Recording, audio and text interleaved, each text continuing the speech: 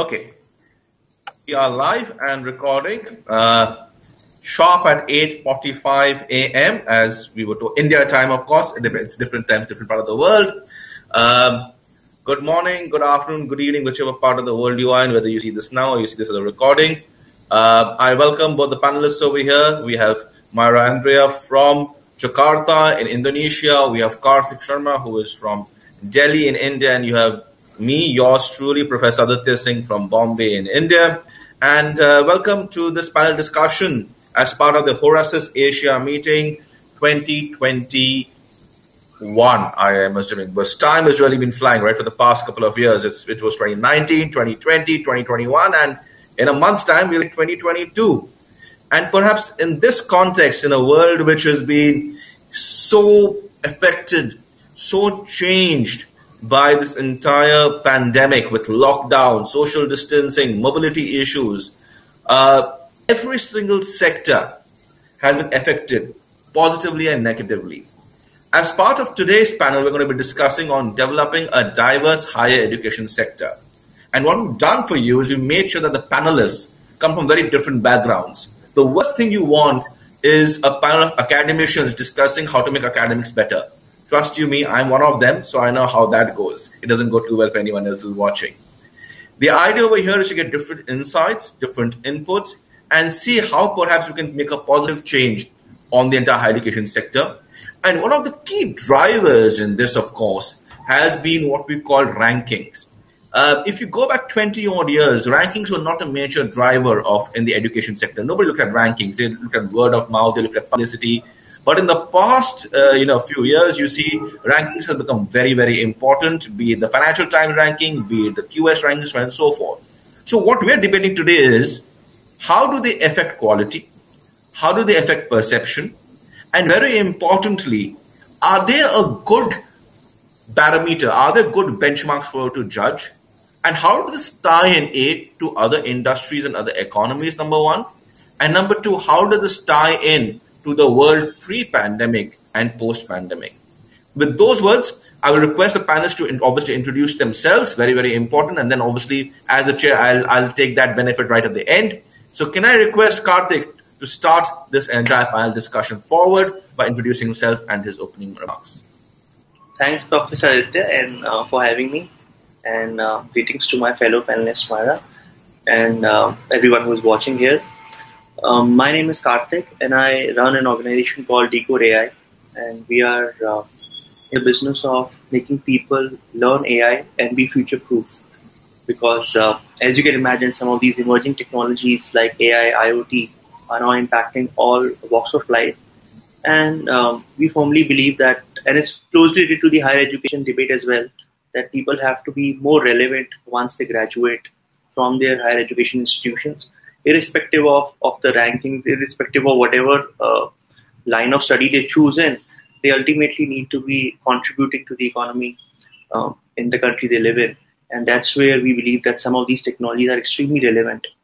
To Professor Aditya's uh, point, you know, my my thought process is that you know rankings for sure have been a a common barometer to for university selection. But I think if we take this debate a, a notch up in terms of you know why would somebody need to even um, you know ascertain the quality of of an institution and why use a metric? I was reading a, a a research paper, I think, a couple of months back, and it mentioned that almost two and a half percent is the unemployment rate uh, for college graduates uh, in most parts of, of US, right? And and some of these gaps which happen um, in the college opportunity leads to also a diminished social mobility. So social mobility is uh, you know when people move from one strata of the uh, economic engine of the society to another. Now, uh, what happens at school level mostly, uh, because I've also worked at, at school level. At school level, it's a common leveler because everybody around the world, if you see, uh, most of the countries have solved the problem of a higher gross enrollment ratio. So everybody sort of gets through school. The highest dropout ratio is at the entry point of uh, higher ed, even in India, if I talk about. And that's because uh, people directly link school education, everybody uh, does because you know, uh, either through peer pressure, parental pressure, or you just want your kid to study something. But at college level, the expectations are directly tied into an economic opportunity, and there is a very clear one-to-one mapping. And that's where even uh, you know some of these rankings uh, start to play a reverse uh, impact. Because, for example, I come from the background of AI. Many of these rankings are are are based on sophisticated attributes of, of data, and we all know that um, if you torture data enough, uh, it will always give in, right? So you can always manipulate data points. You can always uh, create higher or lower tolerance level to have rankings uh, manipulated. So I think there's a lot of bias which gets uh, inherited into some of these rankings. Even uh, a lot of people have started to use AI-driven algorithms to not have humans uh, do these rankings or be involved in the algorithmic modeling. But still, there is a high possibility of bias. The other point, uh, you know, I wanted to also talk about is that you know, internationalization of uh, you know edu- higher education. Professor Aditya talked about, and I think I would, uh, for myself, try to imagine a world. I know a lot of companies are working in this direction, wherein you can have cross equivalency between various universities. So imagine um, you could study design at Stanford for a trimester and then study law at Harvard or, or study uh, you know thermodynamics at, at IIT Bombay so that sort of a virtual student pass, if you could have, and then you could use it for uh, studying different courses across different universities around the world, albeit in a virtual environment through a virtual student pass. I think that sort of a idea of internationalization is something which I believe we are heading towards as well. Obviously, there are certain regulatory norms and a commercial interest to be taken care of in this cross collaboration, and also not to mention the various uh, academic standards and bodies to make sure that the uh, the study parameters are equivalent. But I think once that is solved, it will become a really interesting concept where you could be actually part of multiple universities and get exposure to diverse environments. And the other point which I would also like to uh, highlight is that once we are doing this intentionalization, we should also have, or we could also imagine a, a thought process where we'll have more and more cross-discipline studies. I know for a fact that IITs and some of the Ivy League institutions have created hybrid programs where you can, let's say, study design along with uh, behavioral psychology and understanding, or you could study STEM with, with more focus on UI UX. So that sort of a hybrid curriculum is being provided, which makes it more inclusive and also make sure that the graduates are having a broader exposure to the entire spectrum of uh, product or service development rather than have, having a linear understanding of their own course. So I think these are some of the interesting ideas around um, you know how we could have universities become more international and how the entire experience could be more comprehensive and hybrid. Um, would love to talk about it uh, in, in the due course of discussion, but these are some of my opening remarks, uh, Professor Aditya. Thank you. Thank you, Kartik. Very, very uh, profound thoughts, and I think you've given us enough fuel to fuel this discussion for some time to go ahead. Thank you so much. And we now move on to uh, sunny Jakarta, I'm assuming, or how is it in Jakarta today morning? Mayra, all yours.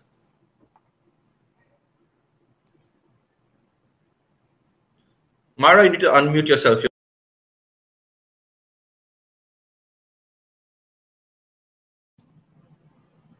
on the lower side, you will see it next to the uh, mic. You will see mute or unmute. You're muted right now. Yeah. Perfect. Okay. Can you hear me clear? Okay. Uh, thank you, Aditya. Hi, um, Kartika, and hello, everyone. Good morning. I'm honored to speak again in Horasis event. Inside of this issue to address, may I share opinions? In facing a take advantage and international to drive innovation with higher education is important at this present with increasingly technology to teach and inspiringly as entrepreneur how to do. Reflecting on the success of developed countries such as American and Europe almost all university insert entrepreneurship material in almost every course. A country such as uh, Japan, uh, Singapore, and Malaysia also apply entrepreneurship material at least two semester. this that is delivered to make our neighboring countries, uh, developed countries, and take a long leap in improving their country development. Higher education institution as one of the leading mediators and facilitators in building the nation young generation have an obligation to teach, um, to train, educate, guidance, and motivate their students to become a smart generation that uh, is independent, creative, innovative, able to create uh, various job opportunity. opportunity. I share about the this uh, um, to be born to uh, entrepreneurs because my background is about um, uh, help for the uh, business, uh, especially for um, uh, young entrepreneurs.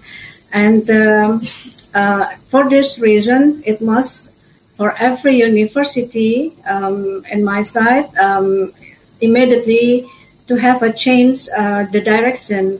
It's a higher education policy from a high learning university and research university to an entrepreneur university with the paradigm a change that will give born uh, successful young entrepreneurs. Education policy can be formally understood as the action uh, taken by a government address the production and delivery of education a given system. Uh, also, we example in Indonesia, also, we increasingly, increasingly a higher education certification for young entrepreneurs with the only online system. Uh, that is my insight. So I I happy to be um, share and discuss this issue also. Thank you from my side, Aditya. Mayra, introduce yourself. You didn't introduce yourself. We don't know anything about you. So that's ah, okay. uh, I'm Mayra. I'm from Jakarta, Indonesia. Um, uh, I, am a chair uh, of President Indonesia Jordan Business Council, and I'm also have a, a company for consultant uh, for investment uh, business uh, in Indonesia, or also, and also another country like uh, Middle East, Jordan, and USA. Thank you, Aditya. Thanks, Mayra. Mayra, I'm going to just keep you on mute. So whenever you speak, just unmute yourself because there's some background disturbance. So I'll yeah. mute you, don't worry. All right. Okay. And okay, perfect. Great. All right. So with that lead, I think I can also introduce myself. I'm going to take a minute or so. So just be brace yourself. My name is Professor Aditya Singh. Um, you know, I am the director of the Athena School of Management, which is a very exclusive business school based out of Bombay in India. Uh, I also am a, a faculty, a teacher, I'm a professor for impact leadership and differential thinking. I have the good fortune, of course, of teaching digital transformation, entrepreneurship, innovation, governance, and impact and innovation, of course, across the world, be it FDC in Brazil, be it the Athens University, of course, in, in Athens in Greece, uh, in Poland, uh, even in Bolivia for that matter, Turkey, and so forth. And it's wonderful because the insights which you get from a global perspective are phenomenal. I am lucky enough to have been a fellow of the Royal Society of Arts, the Royal Asiatic Society, and the Royal Anthropological Institute, all in the UK. I sit on the advisory board for the ESG Research and Innovation Center based out of the University of Chicago in, in, in the US, and I sit on several advisory boards excuse me, across the world for technology companies, for incubators, and for nonprofits, which focus on innovation and impact. But what I really excite, I'm excited about doing is sharing ideas, and that's something which, which I'm passionate about because it's ideas which make the world go around. I mean, and, and it's wonderful to see such phenomenal ideas come out.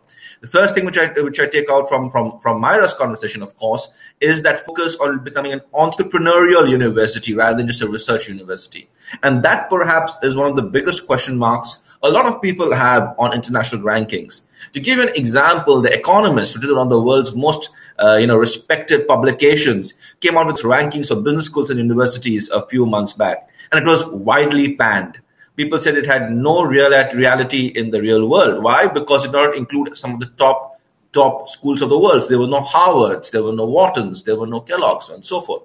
But then the second question is that is the problem with ranking, right? In many ways, the way you've put the parameters, the way you've put the, the points of judgment, when you look at a school's age, an Oxford or a Cambridge or a Harvard or, or a Sorbonne are always going to outrank a brand new education institution because they've been around for hundreds and thousands of years. Literally, I mean, if you see Oxford, it's more than a thousand years. So the University of Paris. How do you compare that? You compare that with, with, with, with if you compare that with the amount of research papers coming out, the amount of citations, the amount of prizes. Again, of course, the older established universities always have a bigger lead because of legacy. You compare endowment. I mean, for example, Harvard has billions and billions of dollars in endowment, which a new university will never be able to match. It's as simple as that. So the question which comes to mind is are the rankings in the current format the correct way to judge quality and innovation in the university?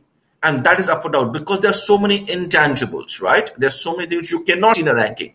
How are you preparing a student to prepare for the real world? What happens for universities, for example, in the developing countries like Indonesia, like India, like Bangladesh, where remember a lot of students who come to you don't come from a very, very affluent background. They may be, for all purposes, the first people in their families or in generations to have gone to university. So how do you compare where they come out in the entire ecosystem as compared to someone who comes from a very well-resourced family in Europe or in, in, in the US? These are the questions which are always up for tops. So the question is not if rankings are great. I think they're a good way to judge. But the problem is they focus too much on tangibles. And it's become a case of the tail wagging the dog. Rather than rankings helping institutions understand and benchmark themselves where they are, it's become now a question, and we had a lot of scandals in the past few years where universities, where higher education institutions are running after the rankings. So you forget everything else. You just want to have a great ranking because obviously the philosophy is if you have a great ranking, you have a good publicity, more students apply to you, you have more students coming in, so on and so forth. And this puts up to debate. And I'll take one thing which Kartik just spoke about. In this new world where such new skills coming out, AI, machine learning, for example, technology, where does this entire ranking parameter come into place? I don't see too many rankings taking innovation, entrepreneurship, AI, uh, machine learning, all of this, blockchain technology learning into the consideration. So, how are you actually taking into consideration of future readiness is very, very important. On that point, let's move to the next part. Are governments in Asia, and by governments, I also, of course, mean higher education institutions, regulatory bodies, and the institutions themselves truly embracing internationalization? And do they know what it means? Kartik, love to have your inputs. Sure. Uh, I'll also touch upon the first part which you sort of concluded. So I think um, I was doing a project uh, some years ago with with Gabbitas. You may be aware of uh, Aditya in UK.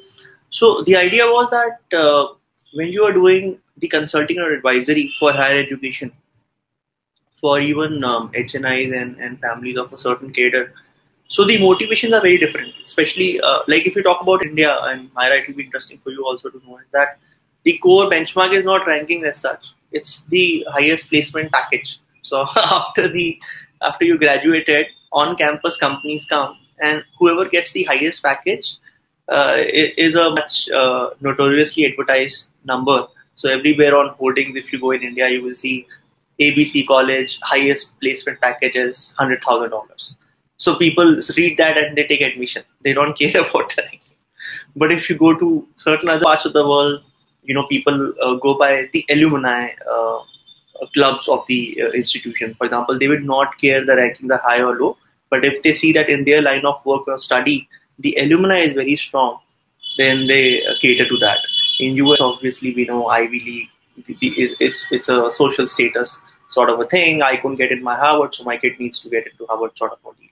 So I think the motivations are very different for different demographics. So I think uh, beyond the point, these rankings do not actually also mean uh, a lot to everybody globally. It means different things to different people. For example, I know a lot of people in India don't even see all these rankings, right? And India, is what 20% of the world, right? So you can imagine that these rankings have limited uh, relevance to a large population of the world. Second, I think uh, tying in with some of these emerging technologies, I feel the future is uh, where people will not see the rankings as such, but they would want to know what's right for me. So it's a fitment issue. So let's say if uh, you know I have a background where let's say hypothetically I'm very strong in mathematics. I want to study computational uh, thinking as a department along with behavioral psychology so that I can create intelligent um, AI automation systems which are also aware of, uh, which are cognitive aware, right? If that's my intention and aim in life, then I'll get a university or a set of universities where I can study uh, as a hybrid program, which is good for me. So I will not be aiming for a certain higher education institution on the basis of any just global benchmark or a ranking, but I'll figure out a combination of courses and universities which works best for me. And I think that's very difficult to do as humans because it's just too much of permutation and combination. And that's why even if you see in in uh, assessments globally, people focus on MCQs and objective types, not because they're a good determinant, but because they're easy to assess. So, uh, sorry saying that in front of a teacher, but because of the convenience of the administration and teachers, there's a system created uh, which uh, is used worldwide, which is purely based on objective assessment because subjective assessments take a lot of time. But that's changing fast because using technologies like machine learning, you can also do subjective assessments pretty quickly in an automated manner. And that's why you will see a lot of focus in assessment, especially in IB board and other boards. If you look at even at K 12, people are focusing more on intangibles, as Professor Aditya was talking about, anecdotal evidences. So if you talk about that in the context of ranking, people wanting to know how how the alumni are doing, seeing videos of an actual lecture uh, being done in a class. So all these intangibles packaged properly and using machine learning, it can be curated for you as an individual. So I think that sort of an experience curation is something which is possible uh, through these technologies. Coming to the second point quickly, uh, from a regulatory perspective, I think most countries, uh, it, it's a very complicated uh, and, and you are much qualified than, than me to talk about it. It's a very uh, sensitive matter, right? I mean, people want international universities to sort of partner with local universities, set up campuses, contribute to local economy, but they still want uh, their uh, domestic universities to do well. And I think there is a big focus on now, especially, uh, you know, I was talking to IIT director uh, weeks back. IITs are now setting up international campuses which is an unprecedented move. Uh, nobody thought about it, right? So I think that there is a focus of uh, universities and higher education institutions setting up cross-country campuses. But I think uh, uh, from a regulatory perspective, there has to be greater exchange because I, I, I know for a fact that in India, because a lot of students have aspirational um, ambitions to, to go to study in, in certain universities like Ivy League, there was a higher demand, and that's why you know there was some diluted norms around them setting up uh, virtual campuses and also some physical centers. But I think as uh, uh, pre uh, pre COVID that was the situation. But I think post COVID, uh, with Indian universities also coming up to the ranks and setting up their campuses, I think unless we have this equivalency sorted out, because uh, that's a big problem. If you've studied a certain course or a program in one country as per their curriculum, then how is that uh, treated in your host country or in any other country? So I think unless that is sorted, and I know AIU, we've got an institution called AIU in India, Association of Indian Universities, which also does a bit of advocacy around it. But I think it's a pretty complicated matter, and there is a conflict of interest, inherent conflict of interest, even from government's perspective, to promote their own um, institutions. Thanks so much, uh, Kartik, and, and thanks for the, deep insights. Really respect that and, and find that. So, Mayra, I'm going to put a bit with you. I'm not going to go into the deep side of academics, all right, as as, as I promised you. I'm going to ask you something else. In you, since you've been part of this entire internationalization effort from an economy perspective, creating bonds between the Middle East and Jordan, between Southeast Asia, which by nature are not very close to each other as it is what are the challenges you've seen when it comes to the cultural part of two different countries trying to come together, create bonds when it comes to internationalization, trade, etc.? And where do you see the challenge A in higher education? So, are you seeing joint ventures happening between the Middle East and Southeast Asia, number one, in higher education? And what could perhaps make that happen in the future also if it's not happening right now? Thank you, Aditya. Um, well, this is a great um, question. This uh, uh, what uh, we are doing, the challenges right now for Indonesia. Uh, example, I don't mention another country, but uh, the example Indonesia and Jordan. Uh, we are uh, starting for a trade with, uh, in education um, uh, deliver program for Indonesia student to Jordan to exchange like ICT program technology and a startup educate and also we deliver the student to be um, a full skill certification. This is not uh, should be from the high grade university or high very education, but we, uh, we can help for the teach them from Indonesia and exchange uh, uh, uh help a student to Jordan and they start um, uh, study in the uh, some of university, example University of uh, on Jordan, um, then they will have ex- certification from there. that's what we are doing right now. That's very challenging because Indonesia and Jordan also mostly have the same culture and then also uh, because we are brother and sister not only for muslim we have another religions also and uh, in jordan and as we, we're facing right now the global digitalization this i'm sorry digitalization for the technology uh, startup is uh, going up for young entrepreneur who they're willing to start uh, uh, learning for to be entrepreneur or another uh, sectors, not in the business. Uh, also, we can help like teach them in the healthcare and the um, uh, another another um, uh, sectors like um, yeah hospitalization, uh, tourism, uh, like that. That's what we are doing. We teach a student here. We um, uh, give them like some platform program to help them to help the student. And we're starting to make cooperation joint venture joint joint um, like uh, between university indonesia and jordan. And also uh, another in uh, because indonesia also mostly uh, many muslim. So we can also invite from jordan to teach our Indonesia needs. It's like a Muslim uh, teaching for uh, religions and also another. That's that's depend on the program what we we are confirmed between two countries. Thank you, Aditya. Thanks, Mayra. Thanks, thanks again for, for the unique insights. You know, and, and that's what that's what I love about Horasis panels. People come with such fantastic insights and different insights. Um, on my for my two pens, I think internationalization in higher education is critical for it to succeed for two reasons. A, if you see from a population base, the population, especially in Europe, is not growing anywhere soon.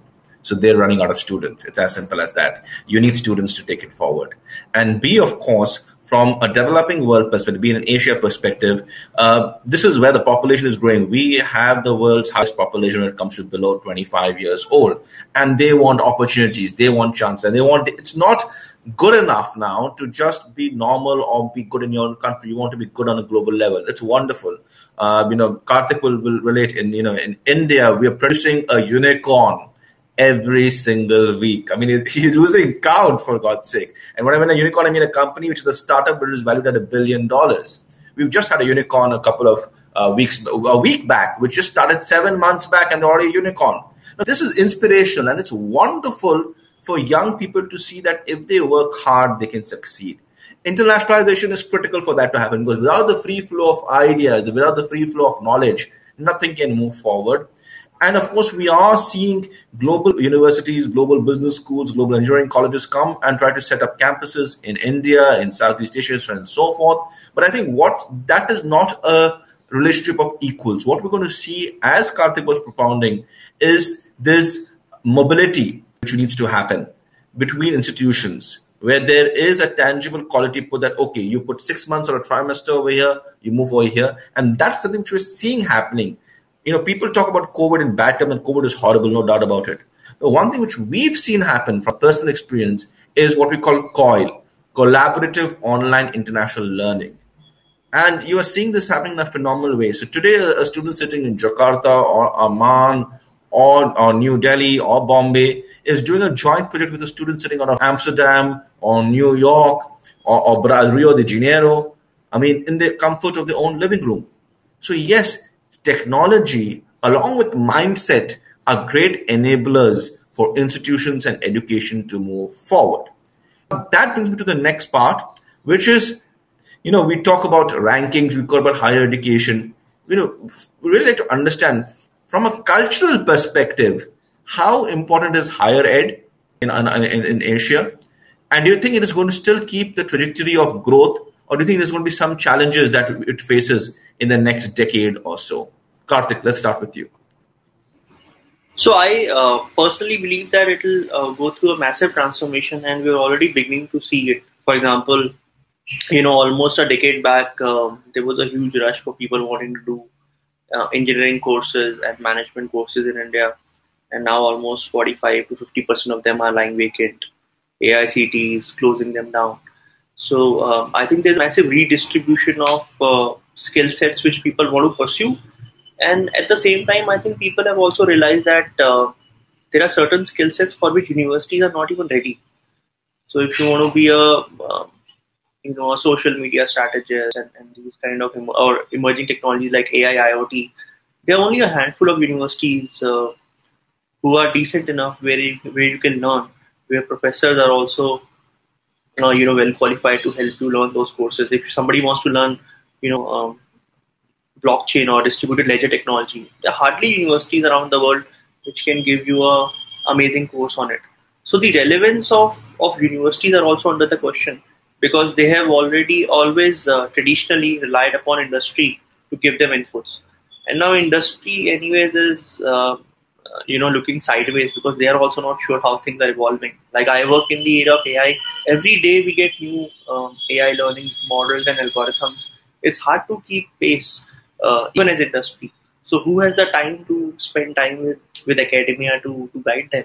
And I think the biggest competitor of higher education institutions now are uh, companies who are setting up their own learning academies and learning centers because they know that they can run, especially some of the larger ones, they know that they can set up a process in which people can learn their specific learning parameters, their processes, be aligned to their job descriptions, uh, their IP, their culture, and uh, that's worked well for some of the largest MNCs, like in India, the largest tech companies like Infosys, uh, Wipro, HCL, uh, so on and so forth. They have massive learning campuses, and uh, they openly say that anybody from any stream come in, and in six months after going through our program, you'll be relevant for us, and you'll be relevant for any IT company. So that's a bold statement, and we have seen it work over the last 15. I have seen it work over the last 15 years, so I can tell you confidently that it works, right? Uh, so they have beaten in, in some way that sort of a traditional university system where the companies have taken ownership of R&D processes from initial skill building to the employability. So I think unless uh, higher educational institutions really figure out a way to excite industry, to invest time in them, uh, I think it's going to be uh, extremely tricky. But for traditional courses, no problem. I mean, if somebody wants to be a chartered accountant or study law, uh, pretty much it's going to be the, the same format. People would want to go to a university or an institution.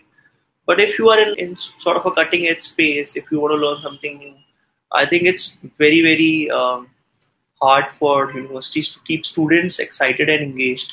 And we have seen it in COVID, right? Like in K 12, I've, I've watched in front of my eyes, like parents now are okay. Uh, I mean, in India, it's a big thing, right? People have to send their kids to school every morning. They go to work, and in two years now, uh, many parents have are now not opting to send their students to school. They are okay with their kids being at home, studying on and off, doing a little bit of homeschooling, spending time learning through online programs and courses, and that's a big uh, paradigm shift, especially uh, if we talk about Asian culture, where people have to wake up in the morning. There is a regimented approach, and you go to school, come back, do your homework, that sort of routine, which has completely changed now. And people are questioning the relevance of whether I really need to send my uh, child to an educational institution or he or she can learn at home and on and off basis I can send. So I think the way I see it is that universities will become more like a melting point of pot of ideas, like such learning clubs. So it's like a gym, right? I mean, you go uh, you go to a lab, you get diagnostic, and they say, oh, you know, your heart is not uh, strong. Go to gym and do cardio. Similarly, the education ecosystem will also evolve. You will have learning diagnostics being done on you, and you figure out this is what you need to learn, this is how you need to learn, and then universities are those sort of gym where you go, but then you also work on your diet, get peer advice, be part of a community.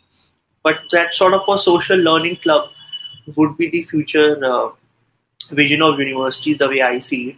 But people would want to take more and more learning in their own hands. And the biggest threat would be companies and industry directly uh, working on their own to manage this rather than investing time in educating the universities to come up, up to. Thanks, Kartik. A lot of insight into that. And, and yes, the problem is, or, you know, the concern is corporate universities. So be it Colgate University in the US, Infosys campuses over there. Of course, the other side of the fence is when they're training people up for their companies, they're buying them to a lot of skills which are unique to their companies, right? And the challenge comes when these guys leave and go to other sectors and other companies, then they have a natural wall. But then I think that's an internal unsaid HR uh, play, which is all right. All's fair in love and war, as they say. So that's perfectly all right. All right, Mayra, I'm going to ask you a question now. Uh, what, or rather, how would you like to see universities, higher educations change and become more relevant to the real world based out of where you are, both in Indonesia and in Jordan? I mean, where? I mean, how do you want them to be more relevant? How do you want them to be more, more relatable, in your opinion?